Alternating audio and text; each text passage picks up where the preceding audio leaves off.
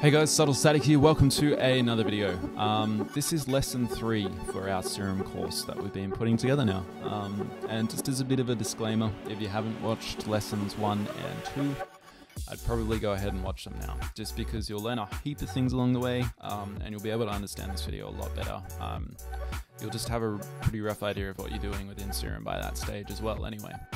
So today we're going to be focusing pretty heavily on wavetables. We're going to learn how to use the editing tools within Serum to make your own custom wavetables. Uh, and we're also going to touch on formulas a little bit for Serum as well. And I'll even teach you how to make Serum talk as a speech synthesizer, kind of, in a way. Um, so, like, at the end, I'll show you how to make this synth.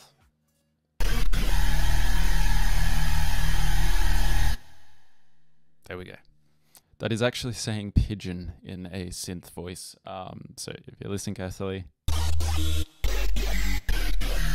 you can kind of hear it. Um, but anyway, all right, so if we just click this little edit button here, which is our pencil in the square, we just have our standard saw wave from Serum anyway.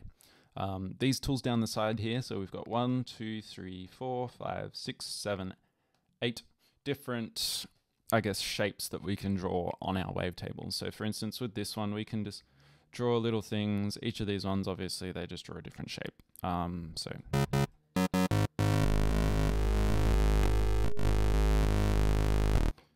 you can draw some cool stuff. Um, these four down the bottom here, um, this one just makes like everything linear. This one smooths it all out. And this one nudges stuff up. And this one makes things really noisy. And like, yeah, you can interchange those a bit. So like you can smooth it all out and just have it like that. Uh, this thing down the bottom is whether you can draw in mirrored mode as well. So you'll see that just changes depending on what you're doing in that side.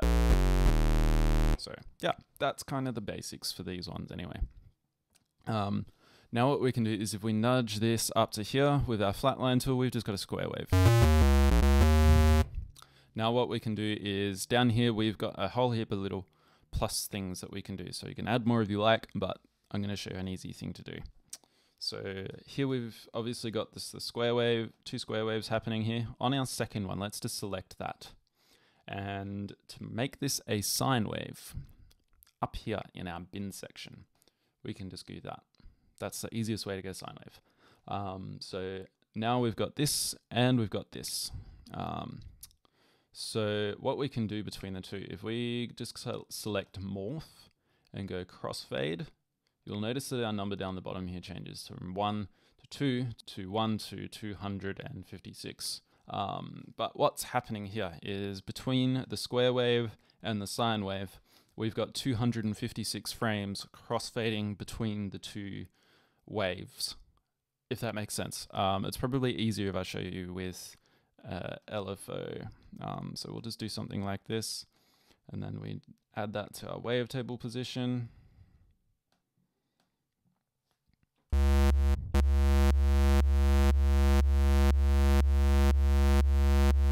So you'll see it just fades in between a sine wave and a square wave. So that can be really handy if you've got one crazy looking wavetable to another one and you just want to be able to morph between the two. So now what I want to show you, um, now that you know how to basically crossfade between different waveforms. If we go to initial preset again, we want nothing loaded up and we just go to our edit tool again. Um, I'll just show you how this little bin section works again because I didn't properly explain that before. Um, so Obviously, I just showed you that that one gives you a sine wave.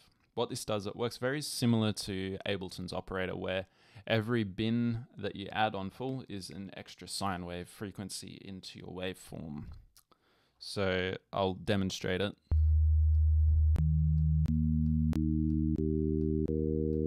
It almost sounds like it's going an up an octave each time, but and kind of makes like a chord. But you'll notice if I play it now, it sounds pretty normal. Um, so that's kind of how that works. And you've actually got like 500 and something bins to play with. Um, these bottom ones, they just mess with the phase of each of the bins. So let's put that one up on full and you'll notice the phase changes on each of those. So yeah, that can come in handy. Um, let's remove that though, because we're not going to need that now. Uh, so down here, we have a little formula box, kind of like a serum command box.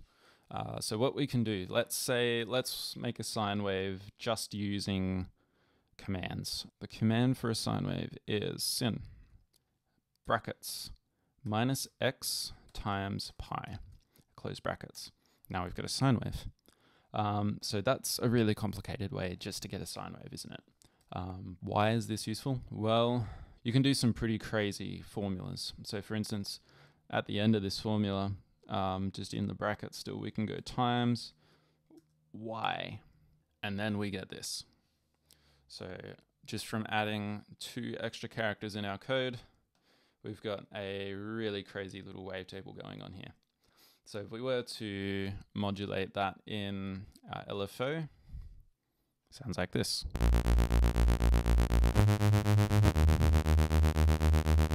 It's like a super phase bass. Um, have fun mixing that.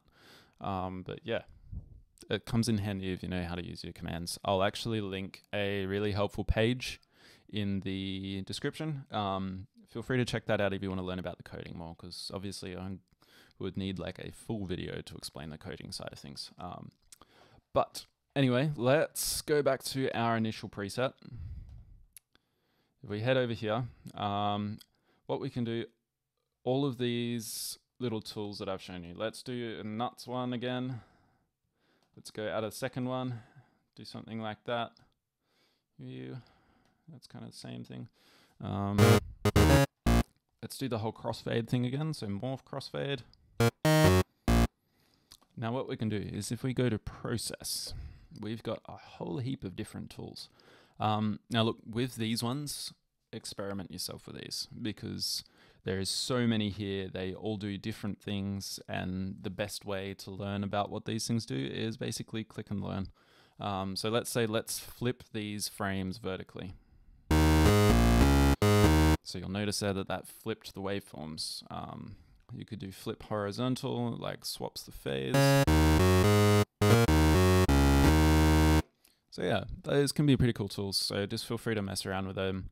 Anyway, you get the idea. Just play with those ones heaps um, and learn what they do. All right, so now what I'm going to show you how to do, that synth that I showed you at the start, I'm going to show you how to make that because it was really simple and really easy and it took me all of 10 seconds just about, or maybe a bit longer. But I'll show you how I did it. So down here in our formula, let's do quotation marks, pigeon. Now that sounds nothing like pigeon. Um, so what we'll do, we'll get out of this. If we put our LFO like that, and then just assign that to our wavetable position. Uh, we'll change that to an envelope actually. Let's uh, swap that around, so we'll make it go like that. Chuck our unison up to about five. We're already just about there. We'll enable our sub, just to give it a bit more bass direct out so that it's not affected by any of the effects that we're going to put on here. So we go to effects, we're going to add hyperdimension, we're going to add a compressor and some reverb. So for our hyper, we're going to leave that how it is. For our compressor, we're going to go down here and we're going to select multi-band. We're going to put the bass up a bit and the mids. And for our reverb, we are going to put in a low cut on the reverb. Um, and that's just about it.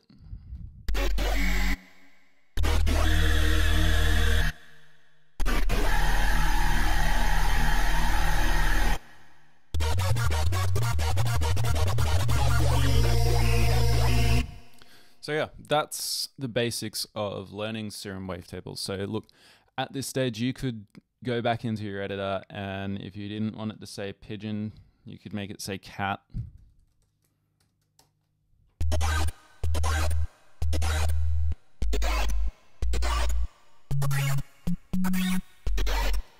Or you could make it say let's let's make serum say serum.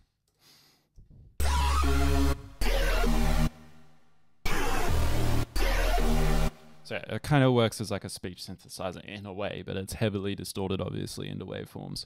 Um, but yeah, look, I really do hope you guys have learned something from today. It's been a bit of a complex one. Um, All right, so next lesson, what we're going to be talking about is just more kind of how to modulate different things within Serum because like down here we've got a whole heap of different I guess macros and mod parameters that we can map things to. Um, you've got key mapping like note mapping and velocity mapping that can come in really handy. Um, and like I'll even show you how to make like a sequencer kind of thing with Serum as well. Um, so as you can tell, Serum's a pretty powerful synth. Like we've made this thing in a matter of a couple minutes and it sounds really cool. Um, so, look, that's about it for today. I do hope you've learned something. If you've got any questions, drop them in the comments. I'll try and get back to you as soon as possible. Or check out my Instagram, send me a DM. I'm usually pretty quick to get back to you on Instagram. Um, that's just at subtle static. Anyway, hope you guys have a good day. Hope you learned something today, and we'll see you next time. Thanks, guys.